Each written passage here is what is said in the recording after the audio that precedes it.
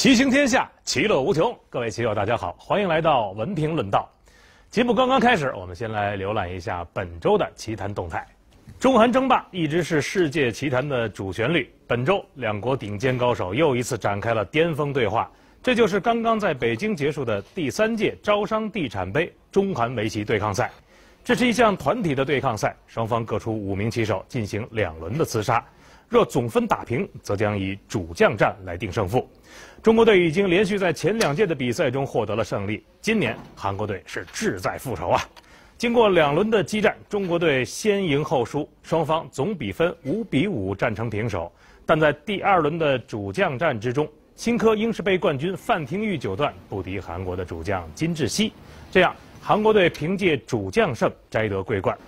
这次中国队的阵容中，1989年出生的陈耀烨居然是最年长的棋手，而姜维杰、范廷钰、佗佳希和谭笑则是清一色的90后棋手。中国围棋的厚度有目共睹，我们有理由期待，在2013年他们会给棋友们带来更多的惊喜。好，聊过了一周的奇人奇事，我们还是要请上我们的老朋友王源八段和裘丹云二段。他们将为我们带来的是二零一三年中信银行杯电视围棋快棋赛中孔杰与佗佳希的精彩对局。广告之后马上回来。观众朋友们，大家好，接下来呢，就由我和王老师为大家讲解孔杰九段和佗佳希三段的对局。那么这两位棋手呢，他们在围甲联赛当中呢是队友，而且呢现在成绩都非常突出啊，王老师。对，各位棋友大家好，呃，说的对。呃，但是孔杰呢，他的年龄、他的资历、他的成绩都是在佗佳熙之上。没错，是。呃，可以说孔杰是老大哥，打一个引号；佗佳熙是小兄弟啊。是这样。呃，那么这两位高手呢，我们大家肯定都很熟悉。这个孔杰是世界冠军。对，呃，佗佳希他虽然至今为止还没有拿到过世界冠军，嗯但是呢，他在国内的成绩非常突出，嗯而且呢，现在等级分已经跃居到第二，仅次于古力啊啊，所以可见他这个棋力是非常的厉害。对，佗佳希他的段位呢，我们现在一看呢，好像仅仅是三段啊。对。呃，假以时日，说不定哪一天世界冠军一拿就直升九段。嗯。那么他的棋力呢很强，还有一个小球，他的棋风特点。可能在中国职业棋界当中，如果我们能够创造出一些指标来衡量棋手的话，虽然这个很难，如果能创造出来，我觉得有些指标，佗佳希是第一。你指的是什么指标呢？对，什么指标呢？嗯，就是在纷繁的局面当中，他他的幸福程度，他的幸福度应该是最高的。幸福度。对，如果局面越乱，陀加西越幸福，就差不多是这个意思。呃，因为我们各位关心这个中国年轻职业高手的这些朋友们啊，大家看了棋谱就知道，对，在这个乱局当中，陀加西是如鱼得水。对，没错。呃，我觉得他是属于那种棋才比较好的棋手。嗯嗯，这个这个非常出色。当然，呃，我们也不能把年轻人就捧杀了哈。非常出色。当然，我们看他们的棋当中呢，也可以品出一些别的味道。嗯。无论如何呢，我们还是先看棋啊。对。一边看棋一边给大家介绍。这盘棋呢是由孔杰九段是直黑，对。孔杰黑，那么白棋佗佳希是这样。对。星位。开始几招都还比较简单，嗯，然后是手脚啊，是，这个很稳。这个手脚的布局呢，最近不是很多，很稳。嗯，佗佳希走中国流，然后孔杰去挂，是吧？嗯，是的。白棋就单关跳，嗯，黑棋小飞，嗯，然后白棋到这儿挂，嗯。现在的续盘呢，当然就是自由的续盘了哈，是，嗯。很多地方打一枪换一个地方，然后过一会儿又回去，都是有的。像左上角，白棋暂时不走，待会儿呢，他马上也尖回去了。嗯，哎，什么下法都行。二将高加，现在白棋尖三三了。然后黑棋下一张马上飞起来，这招见得多的嘛，当然就是拆二了，是吧？如果说拆二的话，王老师他接下来是 不知道，我不知道这个这个天上，呃，会出现什么变化？天上的云彩啊。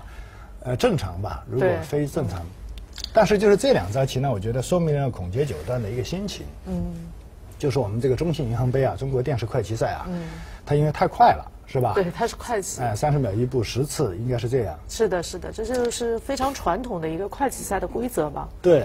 呃，就是一般来说，我们一直说这个棋是快棋赛，嗯，那一说快棋赛，我们就会想到这个是这个规则。对对对。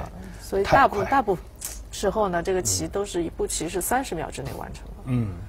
所以快棋赛也是一个特殊的舞台，对，等于我们有的时候想说，快棋赛对于棋手的这个棋风特点、棋力还有心情、性格这些是一个非常好的描写，对。但是呢，有些时候你会发现这个说法呢也不全面，因为他有的时候会走神儿，他会有一些意外的东西。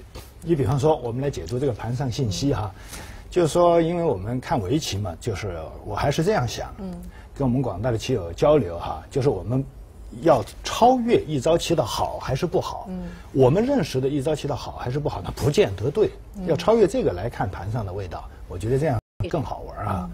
你比方说续盘阶段，黑棋第五招守这个角，对，哎呀，一看这招棋想解读成什么呢？孔杰对于陀家西的骁勇善战是非常了解的，对，因此呢，他这招棋下得特别稳。续盘阶段似乎是要摆出一个架势。什么架势呢？就是平铺直叙，慢慢推进，步步为营，好像是这样。但是几招之后呢，你发现孔杰这个战略又变了，他好像也要求变。哪一招呢？就是这个飞。刚才的朝下飞是求稳，现在他朝天上翘起来，嗯，把飞机的机头啊给拉起来啊，马上就要爬升了。那么这招棋当然就在这儿带来很多变化。没错。那那这两招棋是一个人下的吗？很有意思啊，所以我就说快棋呢，这个棋手的情绪的波动起伏啊，对，他有的时候也会有一些，呃，非常好的体现。是，所以快棋呢，可能有的时候呢，不会像慢棋那样，因为慢棋呢，它有时间慢慢的贯彻它的思路，整体的构思呢，它有时间去布局这些东西，哎，或者是连贯，或者是呼应。对对对，但是快棋呢，它可能需要你反应很快，但你一下子可能来不及做这些事情，来不及，来不及。啊，那么就本能的可能有些地方看起来就不是那么呃，好像有些刚才王老师说。这奇怪，这是一个人下的吗？一个人下的吗？他就是本能的东西多。那么说到本能呢，孔杰九段他的棋风其实是稳，对。然后呢，力量积蓄之后啊，可以狂飙一般的发挥出去。陀家西呢，他就是反正跟他下棋啊，看了他很多棋谱啊，我们棋友肯定也有这个印象。就是我现在很期望，因为陀家西这位年轻高手啊，那是非常独特的一位。嗯，哎，请我们的观众朋友，如果在今天看我们这个节目之前还没有怎么注意的话，以后请大家从这个方向去注意。就是我很期望过一段时间，我们中国棋界出现一位棋手，他跟陀家西下棋的时候，局面没有乱过，风平浪静。如果谁做得到这一点啊，他太了不起了。对。那么什么意思呢？就陀家西他的棋每一盘棋都是千头万绪。呃，他很擅长于乱搅。啊，所以我就说，作为他的对手啊。呃，因为咱们中信银行杯啊，这个电视快棋赛到这个阶段是十六进八，是吧？对对对，是十六进八还是三十二进十六啊？这是第二轮，反正。是的，是的。在这个阶段呢，作为比赛来说，固然盘盘都是好棋，但是确实不是最重要的阶段。如果在最重要的阶段，比方说比赛的决赛，嗯，哪一位高手跟陀家西碰上，他能够保证这盘棋我们来铺地板？哎，我觉得这个棋手至少他在这方面就很了不起。没错，哎，是这样。呃。好了，然后应用了这些啊，我们再来接着看棋哈。结果孔杰呢，他也是就翘起来了，头家西第一时间打入，直接就打入了，对，他没有下别的。对，然后黑棋尖点。但问题是，人家尖点的时候他又不走了，所以你跟他下棋要不乱呐，那这个本事就大了，太大了，哎。那么下一招棋他走这个是吧？所以我觉得他棋下的非常灵活，就托家西整体来说，你要跟他呢。你要跟上他的思路呢，然后要跟着他灵活，这很困难。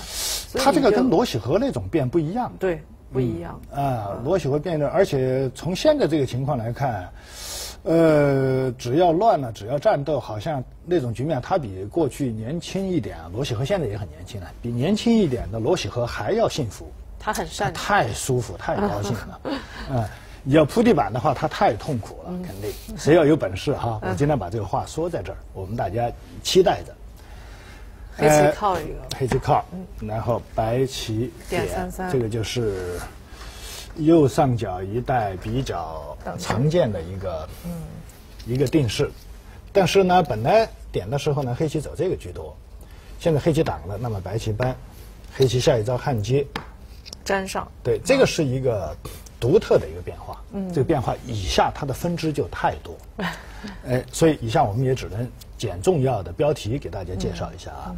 白棋这个顶，它是防断。对。哎，给这个子施加压力。下一招棋黑棋这个下力，从全局来说。从全局来说呢，他考虑到这个地方的配合，是吧？但从局部来说呢，这招棋不是最好。嗯，局部因为人家防断先手防断了，对，哎，所以局部呢大概是这样的棋，嗯，呃，更有冲击力。这个棋形是要加的。对，可是变化太多了，就没法一一摆了。因为你要长，它就冲一下，再咔嚓一段，是的，这个带来很多变化。现在我们就以他们这个为主看，孔杰下一招下力下去。那么陀家西呢，下一招就在上边尖，尖完了之后，孔杰九段。一看他没有纠缠，他就从这儿跳出来。对，呃，这个棋形，如果说，假如说黑棋要补角的话，是不是补在这儿好一点？好像是这样啊。在右上角这个特殊的定型当中呢，想请各位棋友注意，刚才小球说这个加是对的。那么行，下成这样之后呢，也算是一个比较。不那么多见的一个变化哈。接着我们看他们的实战。对。孔杰呢，请大家注意，这是快棋啊。对。呃，小邱，我是这样想，我们这些顶尖职业高手、世界冠军，他们固然水平很高很高，但是我不相信他们对每一个脚上局部的变化都了如指掌。啊。他不会。那肯定了。这个变化他们也不可能准备的很详细。是的，是的，是吧？嗯。我想这个孔杰这个跳出来，也就是他的一种感觉，因为他现在觉得外面比这个角显然价值要更大。对。而且呢，这两个子搁在这儿，现在显然没有好。以后 他不管是虎过来，或者是从这边跳过来盖住这个头，他觉得这两手的价值都比那个角要大，所以他才选择了跳出来的。跳出来。总的来说吧，要给大家报告这一代的变化，这个定式变化太多，确实说不清楚。但是最终的一个结果呢是。黑棋稍稍的局部没有那么满意，啊，我们接着看白棋下一招头家西下力，啊，黑棋把这个扳住，这个扳这个扳，但是它没有好形，这招没有严丝合缝的好形，冲了一下，你扳完了你一挡，嗯，哎，这外边还是有些较吃，这个形状不是很厚，嗯，呃，很有意思的故事啊。那么由于右上角这个变化确实是太多。啊，两位高手，我不相信他们就是倒背如流，全部都研究透了，同时又是快棋啊。那么下一招陀家西实际上是下的这个长，是吧？是的。哎，这招棋呢就是快棋特色。嗯。快棋特色有很多内涵，其中一个内涵呢就是不可能下得很准确。对。哎，所以这也是围棋的魅力，也是快棋的一种魅力。那么这招棋呢，应该是顺手把这个跳掉。哦，你觉得他应该先跳这个？对，顺手跳的话，黑棋要挡住吧？黑棋必挡，那不挡这儿被冲断了。被冲断了，对。然后白棋不走了，然后他再不走，将来嘛要适应手的时候，这个也是先手。是。也需要的是这个也是先手。就是说黑棋必须得补那个断点。对，应该是顺手跳掉，然后你想走什么再走什么，啊！但是在这儿呢，高手们似乎想保留余味。快棋它确实就对这个棋手是考验。待会儿我们可以看到好多招法，就陀加西啊，他非常喜欢保留余味。哎，他想保留余味到后面，然后可以大大的做文章。对对对，这个是他擅长的一方面。他那个，嗯，他那个食品店卖的食品那个保质期特别长。嗯。呃，但是有的时候呢，这个余味保留太多，当你要兑现的时候就来不及了。对对。这又是一种矛盾。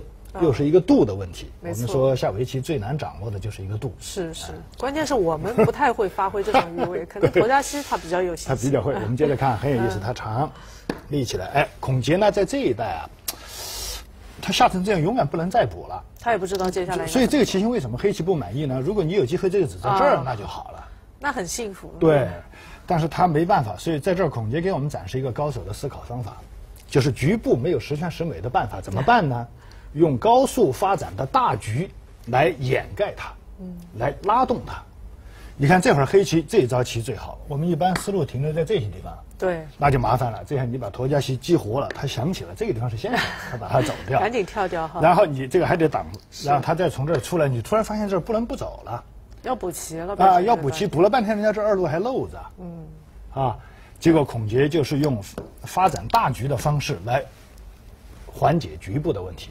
这个是好棋。对，啊，这个是布局阶段好棋。上面这个东西呢，虽然是两个断点，但是呢，它把这个张大了之后啊，这个断点呢，慢慢的会得到缓解。嗯，因为你一旦打出来呢，你要考虑一下，你这个会不会帮人家为模样？呃，是是，这个模样你要考虑进去。对，是。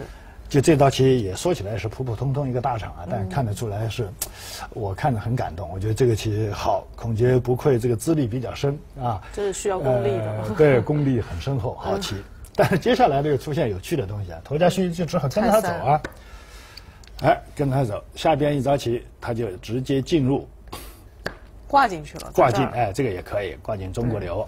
本来以为这个王老师以为他拆完了，是不是考虑要拆还是对对对继续扩张自己？对，换一个对手，他这个有一个心理活动，嗯，就是跟分对手，分对手。我估计对手如果是像什么李昌镐、李世石这些，那孔杰就直接 黑云压城就给他压过去了。这一代因为规模还是大，嗯，但是对手是佗家西，有一个什么问题呢？他了解他这个小兄弟，佗家西就是巴不得你的模样越大越好。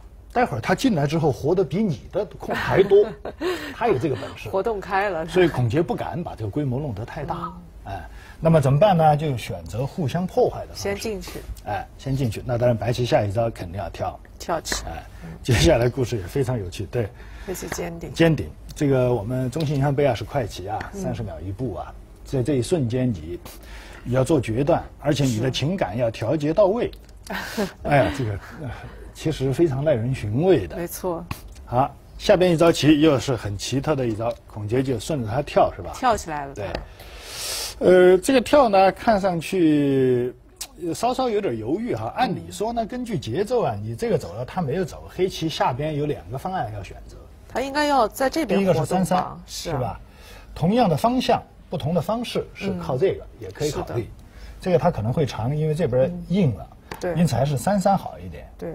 还有呢，第二条路就是这个阵头啊，就是天生的一招啊。嗯，这阵头你你你让白棋去表态啊，跟他才有联系嘛，是吧？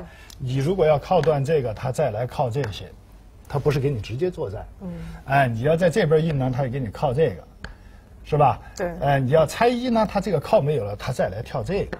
他应该有这种逻辑，对，这是一个非常符合正常的想法的。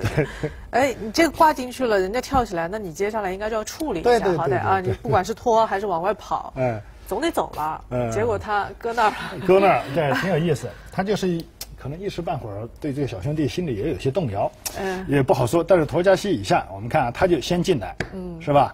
本来呢，按理说，又是我跳，你进来，黑棋要。跟他较劲的话，你现在进来我就不理你了。我现在再走这个，下一步大大方方靠这个，是吧？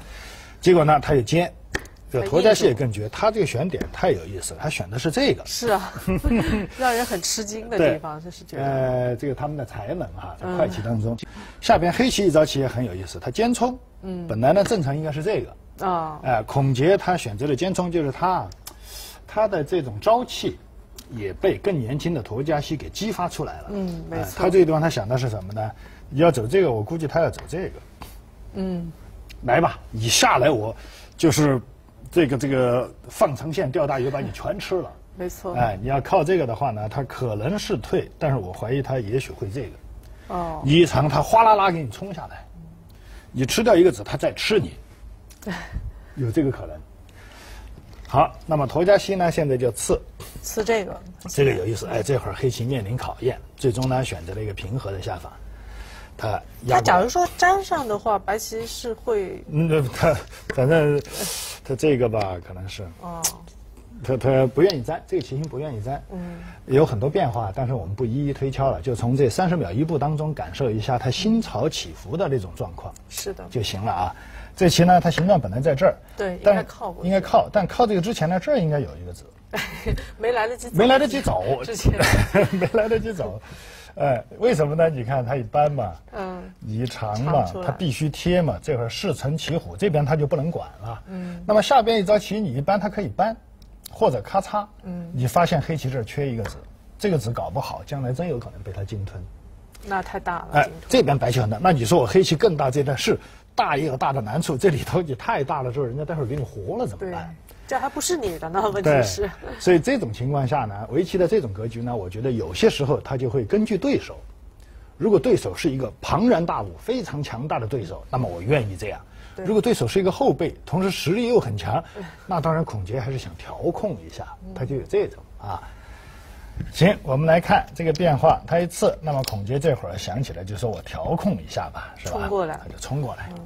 哎，陀加西挺狡猾的，马上这个脚上一接，不理你了，他这也很有意思，他走了两下，然后就搁那儿不走了。不走了。哎，这 他就是打一枪换一个地方，叫撒豆成兵啊，蜻蜓点水，他挺挺有意思。嗯，这个格局从来没有见到过啊。哎，我觉得我们大家要体会一下的是什么呢？就是这个地方局部黑棋的不是很满意，他是怎么把它模糊的？哎，就是拆大场，对吧？白棋呢，这个长下得很较劲，但是忘了交换一个次序，这个不跳啊就差很远。走不着了以后。哎，了解这些就行。这一代呢，黑棋接下来下一招棋，孔杰下下了最可控的一招。我觉得他这个接呢，就看起来对自己很有信心。哎，他觉得你这个地嗯 可控地方，哎，你这走了两个就搁那儿了。嗯我这接触已经很满意了。没有这个地方还是局面可控吧？关键主要是他现在下边没法补，补是单关，这个盖不能盖，把这个子送死了，因为这儿已经补了一个，那你走什么呢？啊先接上吧。而且走这个好像现在也情况有点不同，人家可能是这个，嗯，哎，因为他这个靠断之后，你这边脚上失去了借用啊，呃，不见得好，嗯，因此呢，他就选择可控的对，接，那么下一招棋，人家白棋一跳，这个绝好掉，跳这个。对 他这个接上呢，不是说这个子呢就放弃了，而是说这个 子呢，我先把这边接厚实了，嗯然后这个子反正你一手也吃不干净，嗯嗯你让你吃随便这步棋摆在哪儿，走这儿我还有个穿，你走哪儿你也吃不干净，你走跳呢，我依然是要逃出来的。嗯，但是这个逃，哎呀，苦。呃，我们就知道嘛，在模样对峙的时候，就是最壮呃很波澜壮阔的局面是什么呢？模样对峙的时候，双方都要绷着，谁要是先到对方那儿去潜销啊，是亏的，他就亏了因为人家呃借势出徐州啊，呃倒不是借势出徐州，就借着攻击你，顺便把你的潜力破坏了。对，你要你要是两边都是两条汉子的话，他都绷住，都不先出手，那么你要有本事就这样来，是吧？你就跳，他也跳，就是这个才是大模样作战最最好的一种状态。嗯，先出手的一方吃亏。好，那那么你下成这样之后，孔杰他心里就在犹豫了。是啊，我这个子待会儿被他鲸吞了，好像活力比较小。人家这边到底是子力比较多啊，以后这儿发生什么事情啊？而且这个底下我什么也不干，我就有个那跳对对，他可以捞掉一部分啊。至少是有个跳吧。所以他就没办法，他率先出牌了。嗯，他率先出牌，当然就是对白棋相对说来，人家白棋就有理由高兴了嘛。对哎，好，我们接着看，挺有意思。这一靠，这个这还不能搬，这个棋按理说还是要搬吧，他为什么不敢搬搬这个对搬这个会担心人家断掉吗？对，这个断掉这个故事太有趣了，吃 长对吃再竖出去，这个太有意思了。白棋长嗯对，黑棋再跟着他竖出去。冲出来是吧？这也太有意思。这个白棋，我觉得这个是好像帮帮敌人的忙了吧？还有断吃这一吃呢。哦，吃到底下去了，我还想着您要尝出来，对对对结果您不尝了，不尝了，他把你中国流边上那个子给你吃掉。对打这个，哎，将来，嗯哼，哎呦喂，这儿还有一个关子，也挺麻烦的。还穿在这个，按理 说大概是这样哈，这底下的空全部被破掉，那还是呃还是可以嗯，有点心疼反正。所以这个按理说可以搬，但是孔杰九段为什么没搬？我这个没没看明白。我们接着看吧，很精彩的，这盘棋很精彩啊，因为孔杰这个快棋了得啊，他是好像亚洲杯冠军拿了好几趟吧，我觉得他。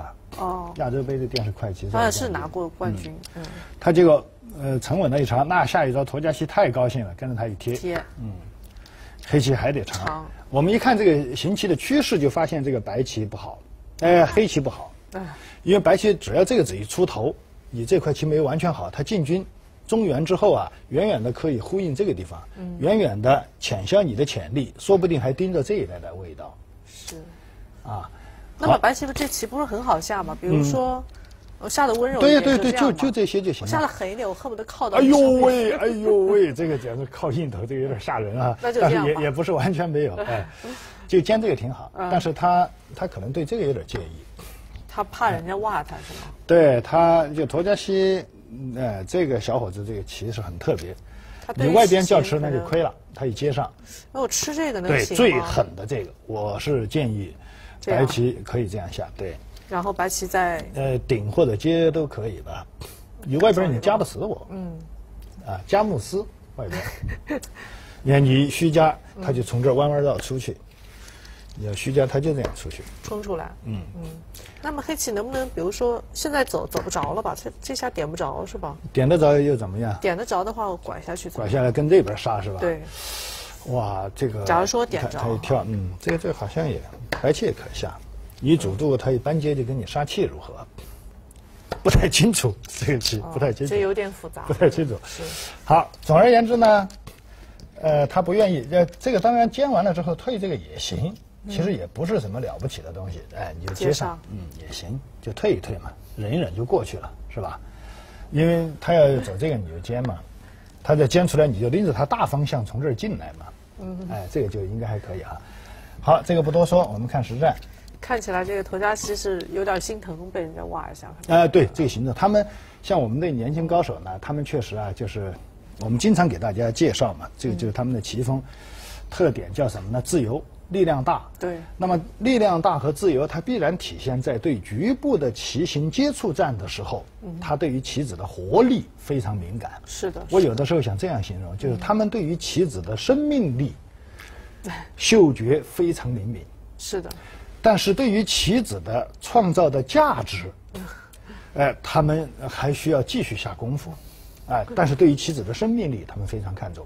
因此，这种棋形当中，他他一发现这个。这个锄头被人家挖进去不太好，啊，所以他是非常想鼓一个，鼓起来。对，他想要挟一下，让黑棋补一下就好是。但是黑棋显然不会。呃，但黑棋当然也也不舒服，这个棋也不是很舒服。哎，黑棋后来孔杰是 压了一个，压了一个是吧？嗯，压。然后这个时候我觉得很奇怪的就是，白棋为什么不长出去？对对，这个应该长，应该长。嗯，这个确实应该长。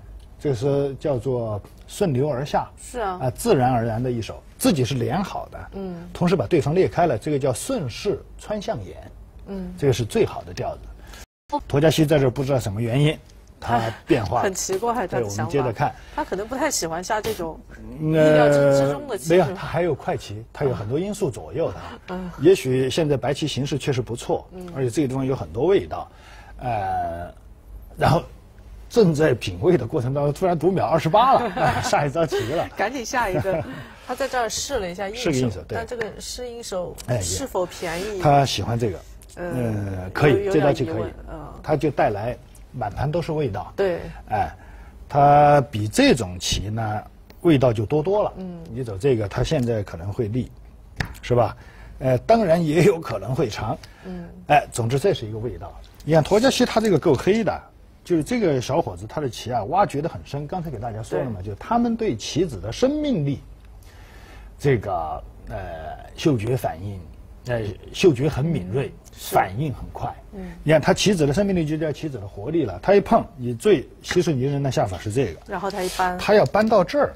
嗯，你你说这种对手你怎么赢他？这黑棋你不能飞呀！啊，你你肯定要吃吃，他下一招一吃，看你是提还是接。那多半要接上。你你要接上吧，待会儿在一定的时候这儿还来你一下啊，这个虎还先手，而且这个叫吃，如果你提到这儿，待会儿虎这儿还要来你一下。啊，那这个目数太惨了，最后脚就没剩下几目棋了。对，但是我这个也不是说黑棋这个下法就完全不行啊，我就说他们年轻人啊非常注重这些。待会儿我们也可以看到他挖掘，有的时候当然。过了一点，有的时候挖掘的太过，就是他榨这个菜籽油啊，都已经榨完了，他后来再给他加一点水，再接着榨，接着榨，要物尽其用啊。嗯，白棋靠，黑棋呢下的很坚决。我觉得总体来说，孔杰这盘棋下的挺。就他的目标很明确，哦，很明确。因为他是快棋，他没有那么多时间让他犹豫。啊，对。他一犹豫，那时间就过了，所以呢，他必须要坚决。坚决，对。但你靠进来，我先坚决把你吃了。但坚决也带来很多问题。你坚决啊，然后下一招人家佗家西又读秒是吧？延时读秒，下一个顶挡住，然后不走了。将来这里头有故事啊！你无有角加一个尖的地方有故事。第一个故事就是搬，挡住。啊，你必须要挡他吃。这是熟一点的，你接上，他再一挡，你怎么吃啊？脚上你怎么吃？他说我这一下力是打结活，教科书上我刚学围棋的时候就知道。那么你要吃是吧？嗯。你要吃它它飘下来，对它下一招飘下来。然后我只能跑去收气去了。你只能收气啊，这个打是人家先手嘛。嗯。你只能收气啊。好了，他这白白的先手多出一个子，待会儿什么这个长啊这个冲，嗯，又被他弄成一锅粥。因此，我刚才给大家介绍，像对付我们现在这些年轻的高手啊，我们职职业高手非常好啊。确实，我觉得比我们小时候，比我小时候那种循规蹈矩走出来的要好。对，活力四射。当然，嗯，凡事呢都要一分为二啊。希望他们更全面，将来。嗯。那么他他一弄又是一锅粥，啊，呃，陀家旭在这方面特别擅长。对对对。啊，这是一个味道。还有第二个味道啊，它这些都不走啊，它还可以单断，单断是你一手，你要接这个，它连这个扳的损都没有了。它先不扳，它还不损了，说不定将来这儿出去了，哦呦，这些地方还给你来一下，然后还看着这个，嗯，所以它有味道。对，啊，这个也是画个示意图啊，放在这儿，接着往下看。是，然后白棋呢，在这儿呢，它始终没有长的，应该长，它飞到外面去了。对，应该长，这个是高兴了一点，下的高兴了。这让我有点很吃惊。对对，这个是错过几所。嗯，就是尽管他看见这个局面千头万绪，但双方都无章可循，对谁有利呢？呃，初生牛犊不畏虎，是不是啊？对谁有利呢？对没有见，就是以前你有很多经验的人，对这种人不利啊。啊，所以这个局面大家都没见过，多好啊！哎，高兴了，这个飞呢下的确实是稍有问题啊。嗯。黑棋现在飞这个，飞，对，孔杰要挟他一下，没有，孔杰就看见这个，对他刺了，然后一虎下去，我切断你了，把它断开，哎，所以别看这招怪飞，它有这个意思。那么佗家西呢，当然他就要防这个，以攻为守，顶，顶一个，哎，孔杰呢再先刺，接上，嗯，然后再把它捂进去。这张双方其实下得很精彩，对，我总觉得这个黑棋能搬到这个，对，来说还挺满。黑棋好，嗯，嗯，好的有限，但是黑棋好。啊，因为本来白棋长出来挺难下的，长出来这个不好办。好，白棋但是仍然很出色，靠靠这个，这个黑棋当然只好顶，哎，这只好这个扳，接上，白棋再顺便把这个接上，这是一根棍儿。哎呀，这个下五子棋还输了，他下了六个，多了一个是吧？多了一个，哎，接上，你接上。然后白棋呢，现在先尝一下，对，试了下应手。对，因为这张人家要切断它，所以他就不肯，他就要试个应手，尝一个。这个这个棋手很难对付。孔杰呢，下一招当然也很清楚，对，就是不管三七二十一，我先挡住你。啊，你有本事，我下一步接着把你这根棍儿吃了。他说啊，春天来了，我要吃冰棍儿，我要把你吃了。哎，陀家西的意图不是损，啊，他是要交换留一点味道，然后他再补。对，嗯，当然这个也只有他们才干得出的这个事儿。如果说我们这种啊，像我这种，这一长人家一挡，我已经损很多了，我总是保留。但是我保留那，我的味道就不足啊。将来我固然有这个，但是这个地方的穿透力不够。嗯，你看他们很有气魄哈。对。我就在想，如果说飞一个这块棋，假如说他已经死了的话，嗯嗯，那这个不是损了一手棋，还加一目，是是损了很多，啊，损了很多。但是他预料到中府会有非常激烈的搏杀，嗯，他认为留有这个味道，比保留这个官子呢，它的这个价值更高，啊，就像。股票和现金的区别一样，啊，他可能是这样想的。他们买股票恐怕是高手，我觉得，但是我不会，我不会交换这两个，我会单补。除非说尝完了能看出来这 呃里面确实是有棋，那也逼迫黑棋要在这儿补一个，然后白棋能空出一手棋来在中间。但是我们要想象一下，要记起来这盘棋是快棋，对，快棋三十秒一步，你最后天花乱坠的时候，哎，对这个问题啊，其实我们待会儿还可以议论一下。嗯。呃，行，要不然我们这个棋先 对，先到这里。这个黑棋呢，刚刚在这儿守了一个，哈，他觉得这个形势还不错，可能哎绑扳住了，啊，那接下来白棋会怎么办呢？我们先休息一下，一会儿回来看白棋的下法。好，欢迎回来。接下来呢，我们继续来欣赏孔杰和陀家西的这盘精彩的快棋。对，这个快棋呢，是我们中信银行杯中国电视围棋快棋赛，嗯，呃，它的第二轮哈。呃，刚才我说到这个快棋，其实我们的快棋可以议论一下。就是快棋呢，它嗯，因为没办法，过去呢叫洞中一盘棋，世上已千年，一盘棋可以下很久啊。就是烂柯的那个。对，烂柯还有我们清代这个黄。黄东市、施乡下、范希平他们下棋的时候，固然也不慢，但是当时连计时的连手表都没有，是不是？所以没法计时嘛，大家只能就是半天下一盘或者一天下一盘，就是说大概棋差不多那个样子哈。你也不能下棋的时候一个人抱着脑袋，我就不下，我就想 想了半天我才下一招，也不会这样啊。嗯，呃，那会儿水准很高。那么快棋呢，就是一个独特的现象，它一定会出现什么呢？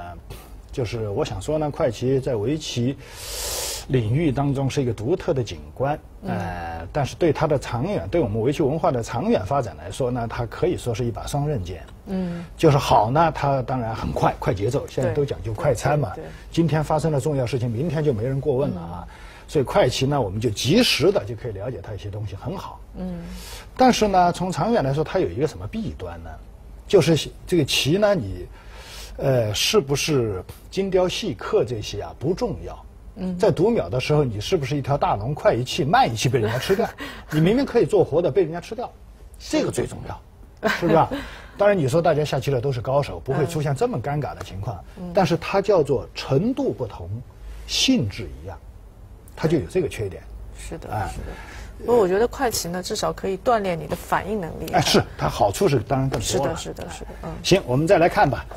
呃，下沉这样之后，总的印象呢是佗家西这个飞稍微松缓了一点，孔杰呃，如果他穿出来更好，孔杰把这个口子堵住，是形势不错。接着我们往下看，但是下边这一带，这个千头万绪，你发生什么事情不知道。这个白棋如果说做不出一点文章来的话，那当初这个长那就亏了，这些哎就损了，全都亏了。所以他一定要想办法，他先穿进来。穿这个穿也是好手。快棋感觉当中好的，下一招是孔杰九段比较自重，也是比较犹豫的地方。本来呢，你换一个火气大的人，应该是下这个，是吧？如果这样的话，白棋要贴过来吗？你你贴过来，他他也许是这个，他一个脾气大的人，对。那这个就要统吃了。对对，这个就不知道了。说你进来都是我的这个。那么你走这个，他就是这个。呃，就以攻为守，换一个对手会这样。孔杰呢，可能觉得现在形势不错，嗯，呃，而且他所使用的时间也许还没有用完哈，没错，因为他十次嘛，嗯，所以他能够能够控制就控制一下。对，我记得孔杰最擅长的就是控制局面，控制局面 是，哎，当他把这个剑拔出鞘的时候啊，嗯，扬眉剑出鞘，嗯，他出鞘的时候呢，一般就是置敌于死的时候，没错，没错。吃过他这个苦头的，像什么李世石啊、李昌镐这些都有。所以他一般是不拔剑的。对，先忍，下一步佗家西跳，然后你看他自重。刚才我们给大家推荐的最火爆的是以攻为守，这个毛病我永远不补。但孔杰呢是借力，我把这个补住。是的。那么下一招棋呢又出现一个分水岭。嗯。是陀家西呢，他就一定要这样下，啊，他叫得寸进尺，跳得陇望蜀。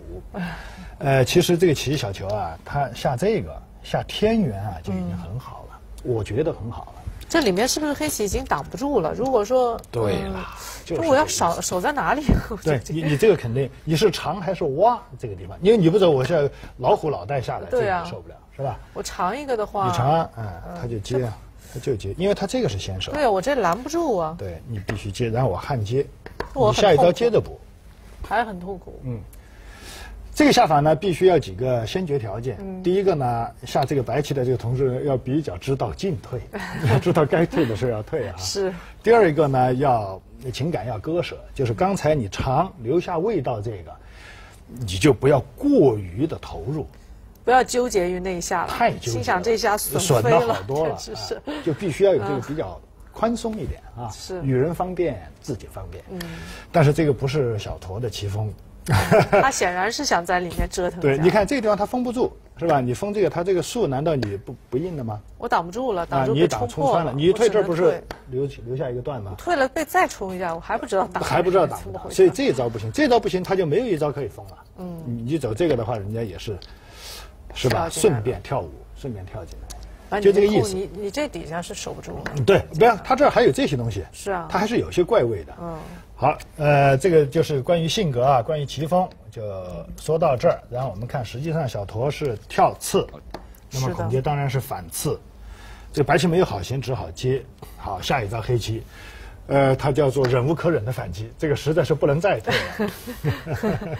这个地方黑棋肯定不是说你忍在这儿，那就不是棋了，那那就不是高手。对，然后你这儿呢也没守好，你是守上面还是守下面？反正两边总有一边是要被人家冲进来的。但是我们一看这个局面，各位棋友，一看这个局面，它可不是叫千头万绪嘛？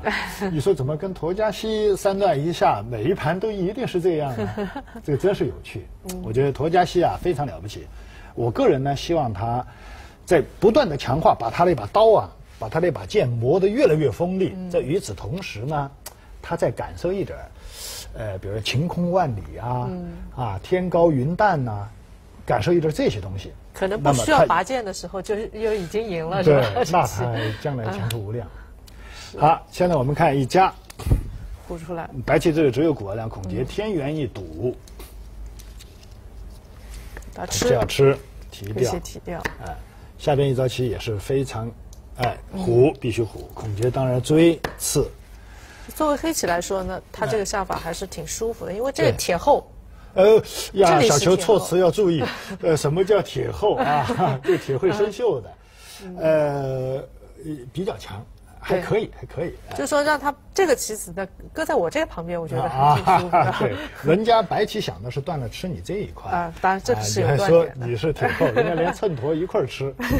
这个我我要议论一下下一招棋，就是沱嘉西这个飞和这个接这两招棋呢，确实又是他觉得形势也许可控，也许是在读秒三十秒之内啊，脑子里开了个小差儿，哎，有一些纠结哈。这招棋呢，按行棋的节奏呢，是基本上是必打，必须打，天塌下来我都想打，就这个意思。那么接下来我估计孔杰他也很犹豫，要解决问题呢，哎，他也不可能接，呃，他第一感不是想接，对，哎，但是要面对现实，你看这个够狂的，这个已经狂的不得了了，是的是，这个太大了。那您先抓掉。但是这个他六亲不认，先把这薅了再说，是吧？那下一招再。多的追求，我们还要去做吗？不用，这个最清楚，因为不然人家一般封住了。你说一定要抬杠的话，这个已经可以了，是吧？你这个必须要接嘛，那他这飞一下嘛，你这必须要补嘛。他把这个焊接，你说这个现在世界上究竟谁怕谁？对，东风吹，战鼓擂，就是这个。嗯，然后这些就不不说了啊。就就走这个吧，咱们走这个算了是吧？嗯，算了，就他就让你汉接一个，他就接上算了。然后这里头多多少少还有些怪东西啊，这一类的。走这儿啊，然后下一步再飞下去嘛。啊，就就这样，然后待一会儿再把这个一打。哦。呃，我们在这就嗯不给大家数目了啊，凭感觉就是这个好像是很自然一个流向，这个棋好像要这样下。应该这么下，应该这么下啊，至少是应该要打上去，要打上去，就是要打上去。我认为就是要打上去。但是陀加西他的这个赳赳武夫啊，他为什么不打呢？还有这个飞，他为什么不穿出来呢？所以他有的时候下棋啊，三十秒一读啊，他还有些活思想，这棋还是有些活思想。这个围棋如此，我们看这棋才有意思嘛。嗯。当然，我们给大家介绍棋局呢，我觉得一般来说，我们也可以拿着两位高手的棋谱就开始夸，每一招棋都是最好的。哎，哎，每一招棋都是最好，也可以这样。但是我们现在要品味呢，当然也可以挖掘出一些这些内容，是吧？行，我们接着往下看，这个已经啊，这个这个转换太漂亮了，我觉得。好，结果呢？他这这一退缩，我一看就确实不像沱嘉西的棋啊，已经是吧？因为这个棋是什么呢？你打吃，如果孔杰一眨眼，他退缩的话，他我觉得这个可能性也存在，不会吗？嗯，假设他一退缩的话，这个故事就完全不同了，就这一点不存在了，这个非这一点不存在了，那有个话正好可以冲断了，对。但是王老师刚才打上去呢，我第一个反应呢，不是黑棋接上，也不是断上去，而是黑棋可以考虑是不是翻吃出来，这样就这一类的嘛。哎然后他还是先提了再说，对对，就这个意思，这个子也没有。对，但但作为白棋来说，这总是想打，要打，这个才像陀家西嘛。其实是想这么下的。哎，说到这，再看他们实战，嗯，他就接了，但孔接这一飞，这局面突然之间全全局叫一气贯通。嗯。这形势非常好，他下一步还必须连啊，你不能反抗，现在这个不行啊，冲过来。这个地方他的难受在哪呢？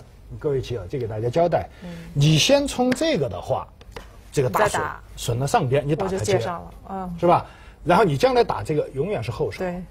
但是您如果不先冲这个的话，你一跨一走啊，一段他就吃这个了。嗯。连连这个打，连这个街都不给你留了。是。因此呢，黑棋这一飞，白棋这个跨没有了。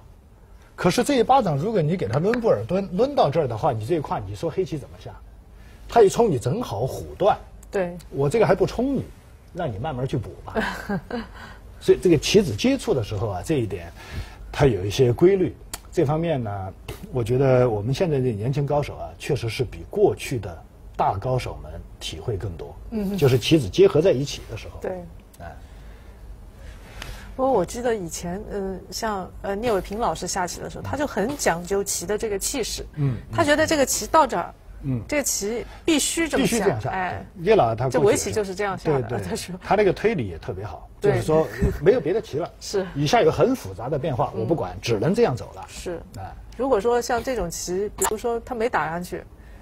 可能在他的观念里面，这就不是围棋。不是，他就就就别扭嘛，就是你这个齿轮咬合运转的时候，突然有一扣吧唧，这个这个牙就崩了，就掉了。他当然没有这个牙呢，他还是可以转的，是就没有那么丝丝如扣了。啊，行，我们来看孔杰这一飞，我是断言这个棋就是黑棋形势已经有利了，但是几招之后形势又变了。这个 这快棋太有意思，头家棋跳，白棋跳一个，在这儿。然后呢，孔杰九段是跳这个，跳这个是最稳的。嗯，他保证我不能单关补这个断点，然后威胁你这三个子。同时呢，您这块棋这个地方还没有完全好。是的。关键是我下边这个基本控呢，由于你这个距离和这太远，你要给我抡这些的话，现在你有点过。嗯。还有你这个没把我打瞎呢，十万火急的时候，我这还有一只眼。嗯。因此，这个打与不打，这个简直是方向路线性的问题，大是大非，这是。而且以后呢，之所以黑棋肯在这里补棋呢，他接下来劫财稍微有利一些，因为对他来说挖这个劫，他这个劫无所谓。嗯。他最多提过来的时候，你这还得再花一手才提到这儿呢，跟刚才不一样啊。是。所以这虎的时候，假如说黑棋劫财有利的话，那白棋就难受了。对。难道你要接回去吗？这个 也那他这儿被他喷出去了。是啊。这个叫喷薄而出，从这个地方一出去，那这白棋很很困难。对，所以这个虎。很厉害，其实。我们接着看，下边一招棋呢，白棋头家戏是呃飞一个飞，是吧？飞孔杰九段是根本不理他挡啊，他冲了一下啊，这个冲了一下，这个对，看起来像打僵。对，冲一下看起来像打僵，这个地方有一些细节问题啊，但是呢，快棋当中要看棋手，你要要讲大局、讲政治啊。嗯。如果你在细节地方抠得太过啊。这是害人害己。你比方说，黑棋要纠结于这个，哎呀，我什么时候走一个？先是打劫很高兴，哎呦喂，我待会儿还可以长一个，还有个打劫，哎，我还有一个打劫，然后你再盘算这个，哎，得十秒钟又过去了。嗯，是。那你这个就叫以小见大，这不是？是这是有个打劫，是有打劫，是有。但是现在忙不过来，忙不过来。你你，所以你就是要要要看大劫。是的，小劫啊，要要该忽略的要忽略。嗯，但是这个作为曲棋的形的变化，要给大家介绍到啊，它有这些味道。那么快棋啊，它是大大局当前，以大局为重，小地方要要水流到那儿再说。但是你当然要有这个印象。你要知道这里是有大劫的啊！你不要以为这个就是冲冲，然后走走走，然后收官就完事儿了。好，我们看那孔杰是这个吧？对，挡下去哇，这招棋好棋，巨大。这招棋一挡，我们突然发现上边这三个子啊，好像跑不掉了，要死啊！要全死啊！哎，同时对右上角的白棋有挤压，这个驼家棋不管尖是吧？对，就这招尖啊，是读秒催促。这会儿呢，这个小驼啊，他感到形势有点。吃紧了，对。可也许他下这盘棋想，孔杰大哥这个棋我应该可以活拿了。我这是调侃啊。那么下到这儿觉得有点吃紧了。嗯。这尖是他万万不想下的一招啊。因为刚才我们给大家摆了，有很多东西，有很多东西，对吧？你现在也可以断。接上。他他只能接，不能立啊立，你拐住了。嗯。你接，然后你再挡这个嘛。对。你要挡这个，那么黑棋大局为重，也可能是这个或者这个。那么脚上就出一个打劫了。对，一个是打劫，还有他这个还可以拐啊，他这儿还要惦记的是不是有接啊？你在快棋当中，如果是我面临这种对手，他给我东一榔头西一棒一弄，我一会儿就晕了。嗯，当然孔杰不会晕啊，但这有这些线索。嗯。结果呢，陀家西就把这个卖掉了，次，那么孔杰高高兴兴一立，是吧？一次一立，白棋下一招是拐出来，出来嗯，在这个地方，黑棋以下定型非常漂亮。嗯，所以为什么续盘阶段在很早很早以前，我就说这个棋像自由落体一样，要先跳一下，早就应该也跳不着了对，现在跳不着了，跳不着。你看人家这儿，哎呦，这招棋这功力深厚，漂亮。这挤得他难受。对我们一般的这个节奏感应该是跨，是这跨呢就不如这个好，嗯啊损了一点，这个挤最好。好，白棋虎，他可能小驼不愿意忍受这个吧？被人家一夹怎么办呢？没有，他他就先走这个，哦，先煎一下。这已经不会了，这这有点不会这。三个就已经掉了。如果说白棋得硬一个的话，哇这个一般那边脚上一夹，已经进死了，啊，夹你够黑，嗯，局部进死行。行，那我先连回去吧，要不然我先走一个，等他补一个。对对对，直接连回去就行，就这先紧气嘛，连回去就行。嗯，所以呢，白棋这个地方在挤的时候，必须抵抗这个虎，是啊，顽强。那么黑棋扳，这段孔雀下的非常漂亮，出了一个打结了叫吃，接上，然后脚上一扳，他搬在那儿打结。扳。白棋现在不能吃了，是吧？吃一搂吃吃掉了，是吧？对那么他只能吃这个，黑棋这儿打劫。对，但是呢，打这劫也不必害怕，不要以为这个好像白棋就崩了啊。对，我们看他这个地方黑棋的打劫手法，他不是像大家看的这么夹，然后打这个打结的、它不是这样，这个高手的次序，你这个夹也是劫，是，啊，你走，你冲，他也搂，这个是结。嗯对但这个劫一旦黑棋打输，官子就损了。是的，是的。你看这搬在那儿打结个孔杰多狡猾啊，他走这个，一边收官还一边跟你打对。你一走他在叫吃，太黑了是吧？你再一提，好了，他现在一看大局为重，他拐这个说你要不要？那么驼家棋当然要解消了，那就吃，找了一个很小的劫财看起来是哈。把这个解消。然后黑棋把黑棋这个吃这又全局变厚，这个地方全局变厚，加上这一带呢，你不能够非常呃舒畅的出头啊，白棋这块还在被黑棋牵制，所以这几乎要全部成控了。对，呃，但是你说，哎呀，黑棋赢飞了，赢飞了，那又是错觉。我认为那是黑棋好，是哎，离胜利就又前进了一步，嗯，但是并没有板上钉钉。对，我们接着看，下边陀加西是飞这个飞，哎，在这儿，哎呀，这个棋也是下的黑棋非常也很纠结。要是是我在读这么快的秒，我就要考虑这些，先把这个底下的空先守住吧。先守住再说。这不是优势吗？赶紧把空守住。哎，嗯，哎哎呀，优优势是优势，你人家给你抬杠，人家也有道理，呃，不见得优势，也许说不清，很复杂哈。总之，要是我，我就害怕。对对，孔杰呢，这会儿好像是越战越勇哈，下出这个尖反击，这个地方非常复杂。嗯，哎呀，下边一招棋，白棋当然是焊接，接住。这来的正好，焊接。当然，他就后悔这两个没交换就好了，这个味道不一样。田接，那么孔杰也经过计算，下出了很凶的靠。白棋搬，对，所以我们这个快快棋啊非常精彩，真是大家要是有机会从头慢慢的品味品到尾啊，很精彩的，是的惊心动魄哈。嗯，嗯，刚才我是说到鸡蛋里头挑骨头，说到这个快棋也有它不足的一面嗯，这个也难免，这个也是难免，这也是快棋的味道对嘛啊。你不可能要求他们三十秒一步的棋，然后每个地方都计算的特别精准，那可能那个地方要花半个小时才能算清楚。呃，不要说特别精准了，我就说啊，嗯大家首先要解决这个三十秒读的时候，你要全神贯注，一点分心都不行，因为太快了。对还有在双方拼刺刀的时候啊，嗯嗯它不会出现那种特别大的错误，但是实际上呢，偶尔也会出现，嗯，也会出现，就这个是快棋的一个缺点。啊，对于这个作品啊，是一个损伤。王老师，他们以前我记得有一个比赛是在舞台上下棋的，啊，对对对，有有那种对，那个快棋赛，哎，那个就很过瘾。然后我就问他们，这个旁边那么多人，还有人在那儿大盘讲解，会不会影响你们？嗯然后孔杰他就是这样说的，他说。呃，一开始的时候可能会有一点影响，当我全部投入进去之后，我就听不见他们说什么啊了听不见，了根本就不知道他们在干什么。是是是。啊，所以这个是非常集中的，所以快。棋对快棋，但是从我们刚才给大家介绍到的快棋这些特点当中呢，就发现呢，呃，好像是他的那种手指运气啊，No 那种成分呢，比慢棋呢要多那么一点啊，那肯定它的偶然性会增加一点。是的，是的，哎，嗯哎呀，这个是一个学术问题。你要说 偶然性，其实人家快棋啊，快棋冠军、快棋高手都是慢棋高手。是的，啊，一般都是这样。好像说这个棋下的越慢的人，所以我们是相对于下的越好。是相对于什么来说呢？相对于棋谱的质量来说，因为到现在为止，我们发现呢，呃，作为两大高手下的棋，孔杰九段上来这个定式的选呃变化的选择，好像不是十全十美。嗯。还有陀家西这个没出头，这个没有扇上去，这个地方 不像是他的棋。对。接着我们往下看，下到这个地方了，黑棋扳是吧？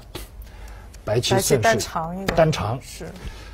好了，这断长他盯着这个挤了，要断这个，你这个神仙都想不到。你看，马上要断了，你现在咔嚓，他断直接把你断掉。嗯，哎，断了要命。这个要命了，这不是要钱啊，这是要命啊。嗯，好，你你你这个万万想不到啊，他一招一招走过来，所以孔雀要防啊，防。当然这招棋也很很厉害啊。对他防在这儿。对，因为你断了，他就叫吃单扳，你就跑不掉。嗯，这个就叫所谓相思断那种形状嘛。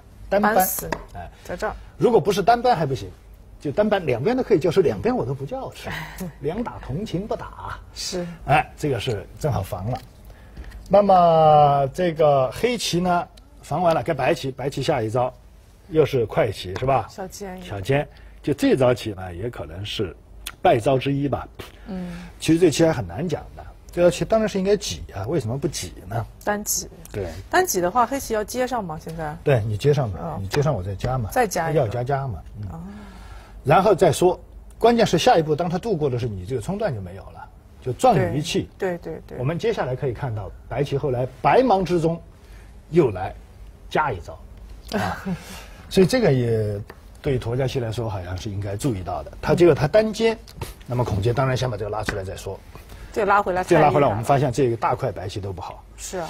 话又说回来，如果陀家棋这招棋下对了挤，并不意味着白棋就可以赢。没错。哎，他有可能挤的话，压力压力很大。嗯，假如黑棋这个拉回来是先手，那有可能他就立下去了。嗯，一样，挤了接上立，呃，是否有可能？没有，他以后这一代的下法不一样。哦。因为他是否先挤呢？对这边来说，他确实只有好处，没有坏处。但是对于这一代人家的下法有点不一样。嗯，我们接着看，是，他白棋呢，现在就必须逃这个，是吧？要不然这块棋整个都面临生死问题。对，白黑棋这个扳，你看他下法就不一样。如果你这边挤着了，你把它逼急了，它可能是这个长，你长，它可能是这个哦，它全部一锅端，一锅端，它没有退路了。反正黑棋已经活得跟铁一样了，这一只眼，这上面要做第二只眼太容易了。这边呢，这边稍微有点薄位，但是它可以这样总攻你。嗯，有这种可能性，这这个总攻也非常严厉。对啊。但是现在呢，大局为重，孔杰九段就搬了，算了。只要看得清楚就行了。然后他回过头来就冲断。嗯。如果你刚才挤了这个呢，他就不冲断了。对。他就换一个下法。他现在冲断。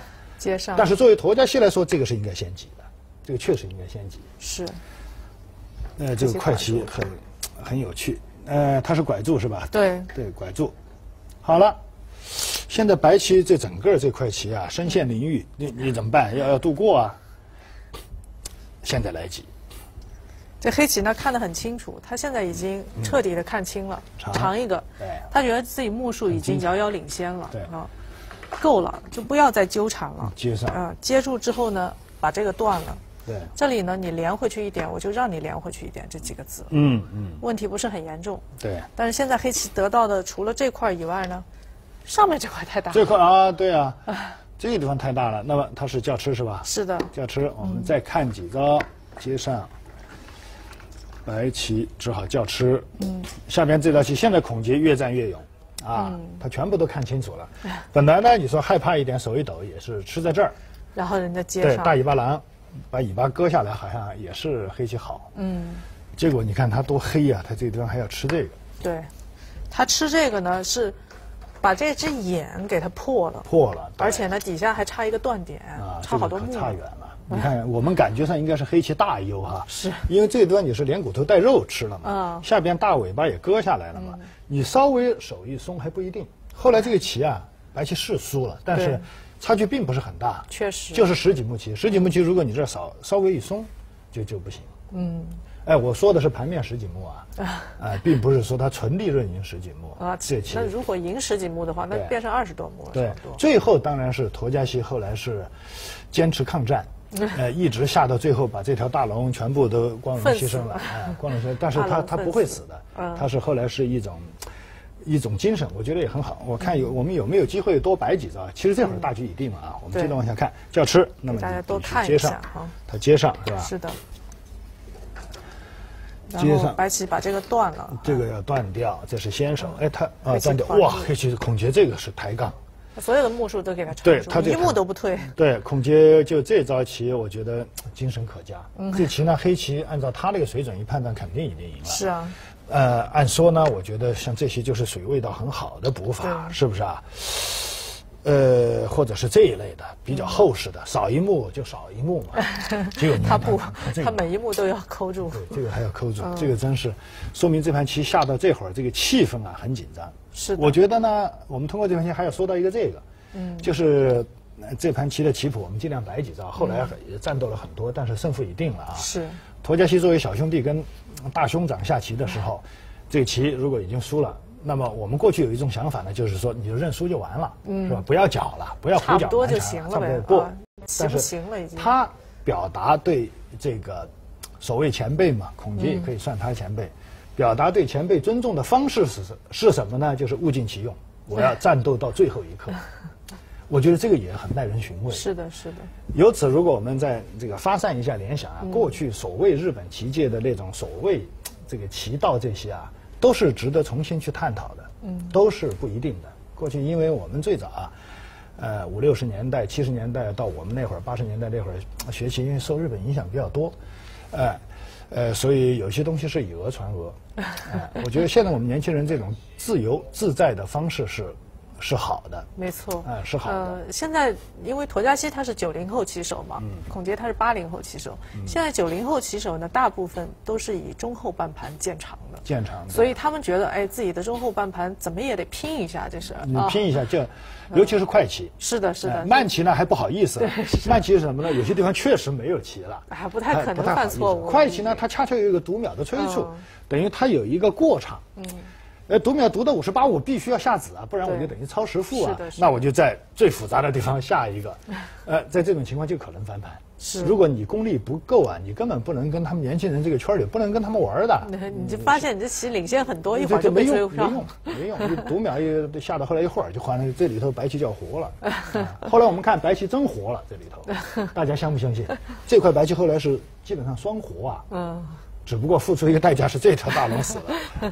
其实这条大龙呢，它在很早以前，它是交换一下，对，看一下就知道了。他他故意现在呢，嗯，白棋很拼，这棋它要抢空，这个太大这张棋，不仅十五目左右官子，还跟这一代的余位有关系。对，他要拼抢。虽然这块棋确实是生死很有问题。嗯，黑棋一跳，跳孔杰这个是温温良恭俭让，这是赢棋。如果输棋，呃，如果是军事呢，当然这些棋都可以下。对，这些棋都可以下，他完全可以下的狠一点啊。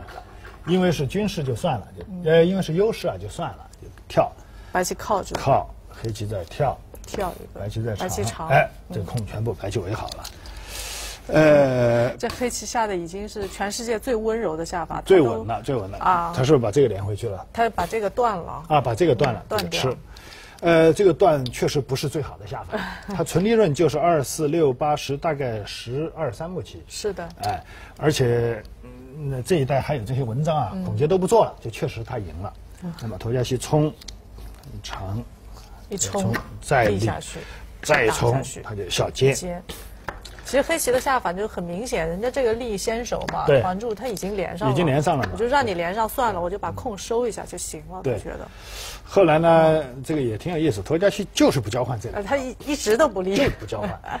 他就是这个，我觉得也说明我们这个年轻人啊，他们现在下棋啊，因为他也是久经沙场嘛，确实他们有些优点。就为什么现在日本这些棋圣名人本因坊跟我们下根本下不过呢？就是我们的棋手，他们现在是。全方位的锻炼，确实。对。尽管我希望他们啊，要注意一下天高云淡这一类的景象啊，但是他们确实全方位。像这些棋，他为什么不交换呢？他有一个心理需求。嗯。就他太了解了，在读秒的时候，如果有些棋手意志不够坚强，信念不够坚定的话，你哆哆嗦嗦的在是不是我考虑我要这样去吃它的时候，你看给大家说啊，啊，就是黑棋这样能够吃，你是不是要吃的时候，你必须付出很大的代价。对，对方虽然只有一只眼，好了，一来二去，对你的心理会有极大的冲击力。没错，当你真的下决心吃的时候，最后发现看错了，中间人家挤啊，然后这一吃，人家是活的，然后这木薯先损一把出去，这棋就翻翻盘了。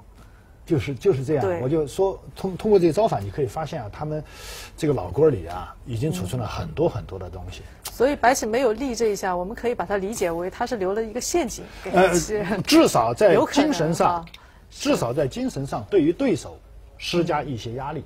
对，至少是这个，这样就为曾胜负呢就，呃呃。呃，多一根稻草也好啊，是啊，是不是啊？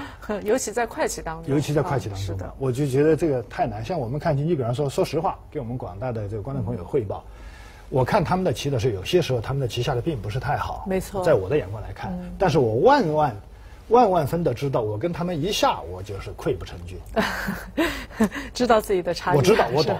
那他有些下法确实是，哎，呃，欠火候。你看着可能是不太好，但是你跟他一下，你被他冲的家都找不着。对，哎，这个例子就不不光是我了，这个比我名气大许多的那些大高手早就有这些体会。那么这个我觉得看他们年轻人这点很高兴，但是确实希望他们更全面起来，因为他们现在在站这个台阶太高了。是的，如果你全面一发展，简直一飞起来啊，一飞冲天啊，那是一定是这个劲儿。嗯，行，我们看能不能再看两招。黑棋现在把这个。呃，现在轮到白棋下，白棋下，把这个斑粘，这个搬粘也巨大，嗯，而且心里有点动摇。这个班粘这个目数是不是比那个大不一定，但他这儿呢多多少少有一些蛛丝马迹。